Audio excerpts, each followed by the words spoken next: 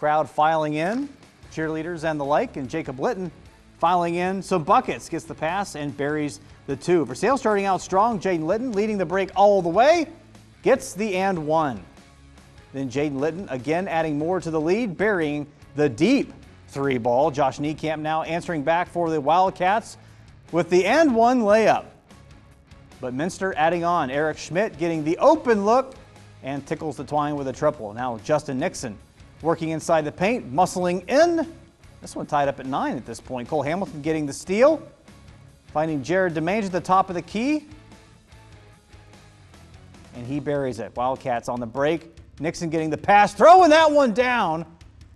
Big matchup tonight. Minster getting the big win, 51 to 37 over Versailles. Justin Nixon, 29 points, 23 rebounds. That's amazing. 10 points, 10 boards for Johnny Nixon. Jaden Litton, 15 points and 5 rebounds.